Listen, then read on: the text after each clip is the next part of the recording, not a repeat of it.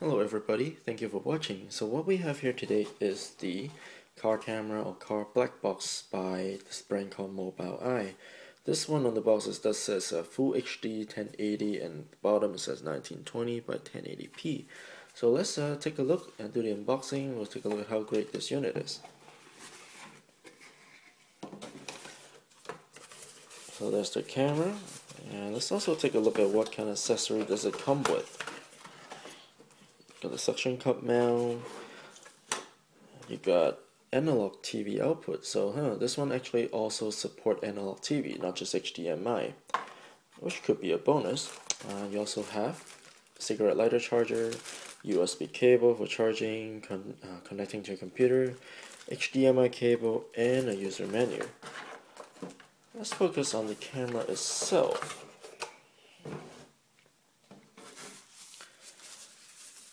So this is actually really nice design. Uh, it's slim.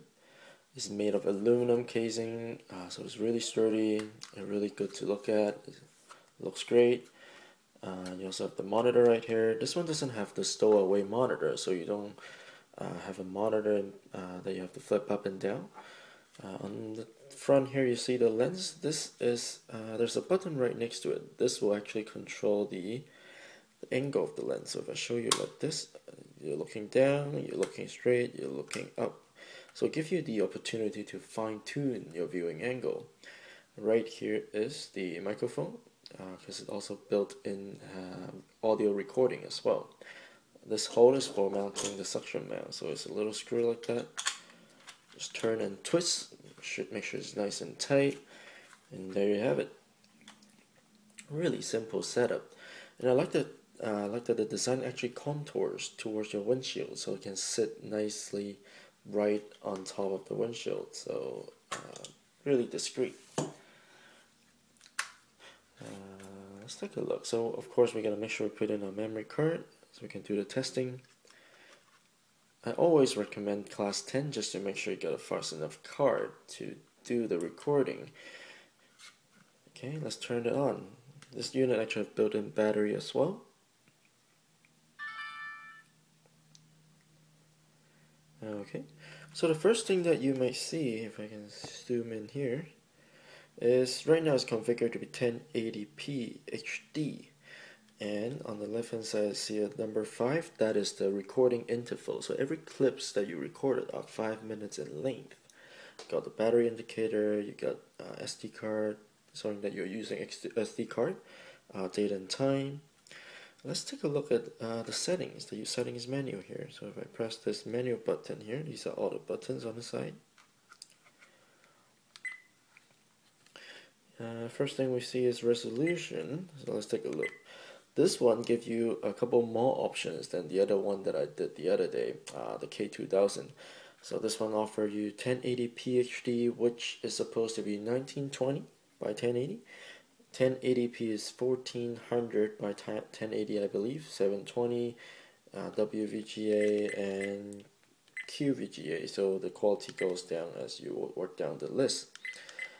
So I do recommend keeping the setting as 1080p um, however this unit upon further testing I realized it is not actually true uh, high definition.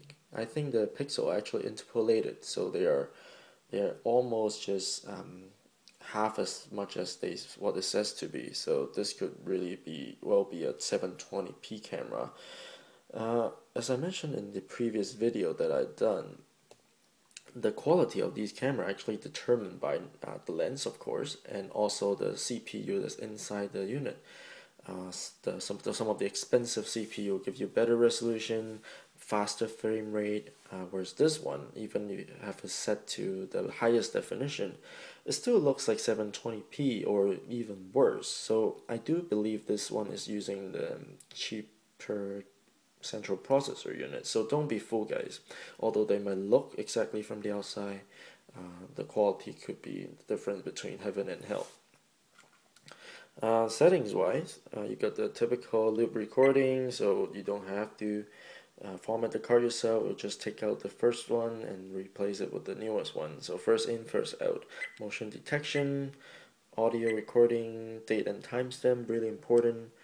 Uh, the second menu here, date and time settings, auto power off, uh, languages, frequency, TV mode. These are for output and of course formatting your card with the format button here. So let's take a look at here. So all these cameras usually have three recording mode. This one is the video recording mode, so actually recording. You have, if I press this button here, this is the digital camera mode, so actually taking digital pictures. Press it one more time, this is the playback menu, so if you hit the play button, you'll see what I recorded earlier. Okay, press it one more time, back to video recording mode.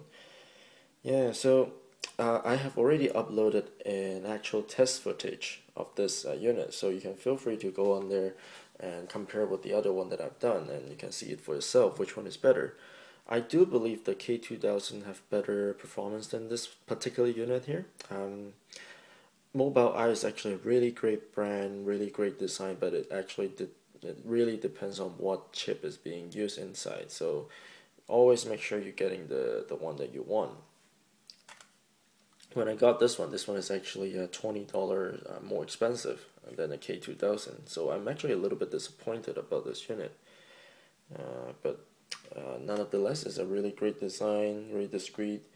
So yeah, there you go. There you have it.